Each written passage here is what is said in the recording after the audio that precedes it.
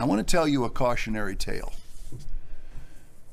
it wasn't, you know, too long ago, but a while back.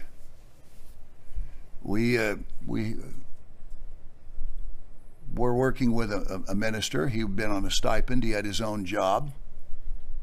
Because people can just absolutely live a lie and just brazenly steal a lie from the church. I'm going to tell you a story, not so you can guess who is it.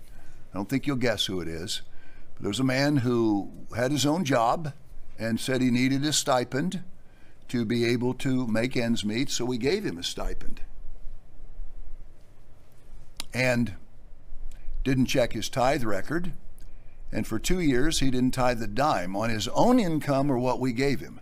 Then we were take we took his stipend back. We were that's that's what brought this out.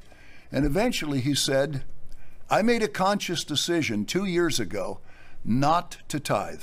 He knew it was the law of God. His exact words I made a conscious decision two years ago not to tithe. I knew I would be caught and I knew there were consequences. Do you know what he was calling and asking for? Hoping we wouldn't catch him so he could steal and lie more, this minister.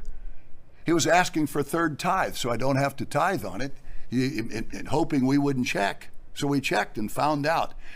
And that outrageous, lying thief of a man who no one could possibly tell was a minister. Now, Mr. Armstrong was plagued mostly by ministers. Lay members were not a problem. It's the ministers who get into power. It's the elites of the world, the honorable, the noble, that God said, I want to stain them and bring them into contempt. That's why ministers get the greater judgment. You don't know who the man is, and don't try to guess, or you make you're missing the, the purpose of the cautionary tale. Now, I'm going to tell you something.